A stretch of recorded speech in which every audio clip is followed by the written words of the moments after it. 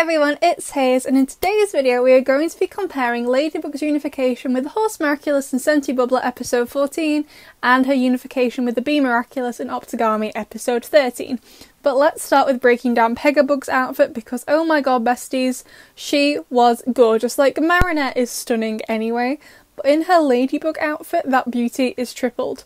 And in a unification, her beauty is just like otherworldly. So the outfit for Pegabug utilises a lot of white, mainly on the torso and arms, and the red on the legs ombres down to white shoes that have gold wings on them, which are also in her hair.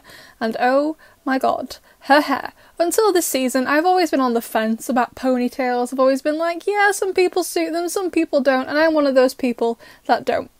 But the amount of times I have had my hair like this recently because of this show Marinette said ponytails are in this season and she meant it. There is also white in her hair, which I absolutely love the contrast with the blue, but the white on her outfit I'm not actually that big a fan of it. Honestly, as colours go, I don't particularly think white is always a colour that goes with red. So while I do like the white on her chest as it reminds me of a horse, I don't like it as a contrast with this particular shade of red. So yeah, I liked the outfit, but it's definitely not my favourite Ladybug unification outfit.